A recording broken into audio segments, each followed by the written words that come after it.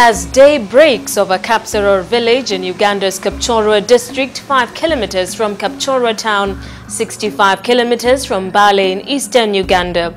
A fire is lit in this humble home as a woman prepares breakfast for her family. A seamless flow of activities she carefully goes over before her family awakes. And what ordinarily is her every morning routine, but she is no ordinary woman. I am a housewife. And Not only that, I, I am also a primary teacher. I have been teaching for 16 years.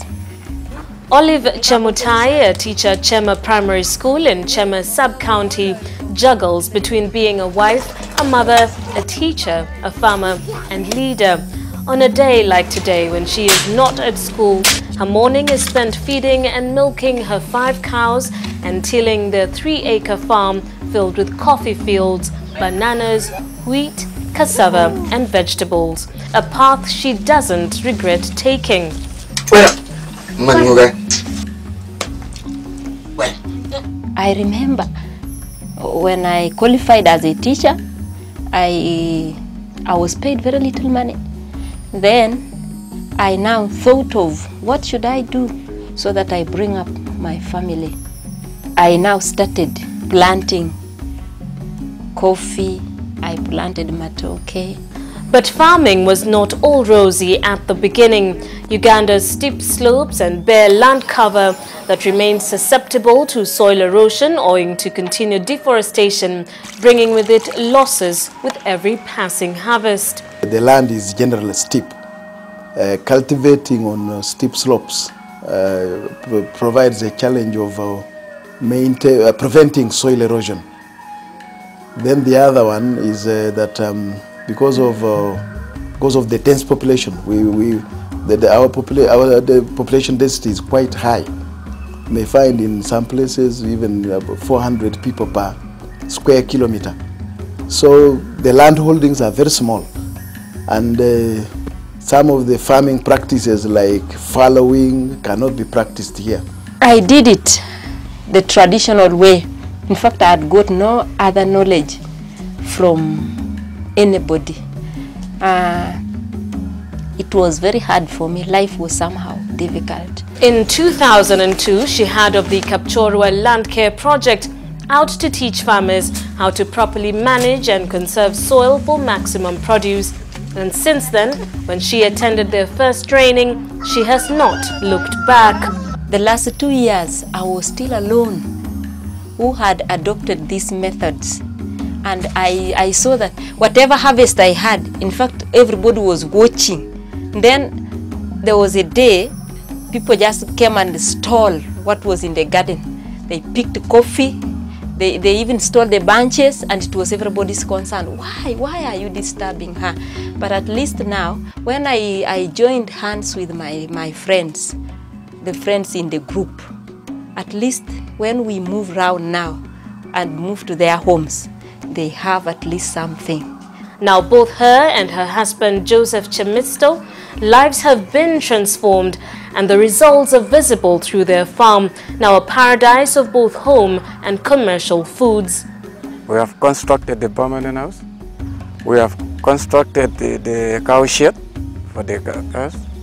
We have constructed the permanent toilet. We pulled water, we brought water home using the same funds. Now even uh, we use some for paying school fees. Her records further documenting a success that has seen her yearly income increase from 1.95 million Uganda shillings in 2005 to 7.4 million in 2009. Many such stories are told in Kapchorwa district where many farmers have adopted land care management approach. people were poor at that time. They were having grass thatch houses. When you could count, there were about just two families who had the iron sheet houses. And all the other ones, they were just having grass thatched houses.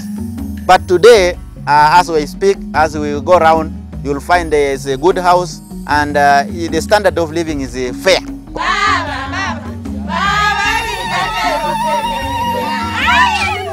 And success is a song even this ladies in Kululu Parish are also singing about. Their lushy green farms filled with evidence of their hard work, but especially of their community-based action to produce. tulikuwa tunapanda ndizi. Ndizi ilikuwa kidogo, sababu sasa mimi mwenyewe nilikuwa nalima, hata hapana jua vile na napea hii ni mbolea, hapana jua vile anafanya. Sasa vile tulikutana, hii watu atofu walikuja wanafundisha sisi, unachukua hata samadi unasanya pamoja, unafanya compost, alafu unachukua kwa ndizi.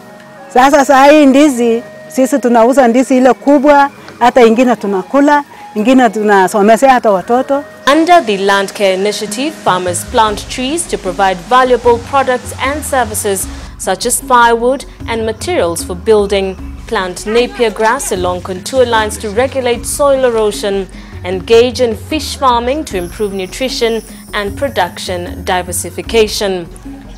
The land care approach has grown tremendously since the beginning of this pilot project back in 2002. And that continues to receive accolades as more and more community groups such as the Twikat Watershed in Benet Sub-County in newly created Kween District continue to detail their success and receive more information on how to better their practices.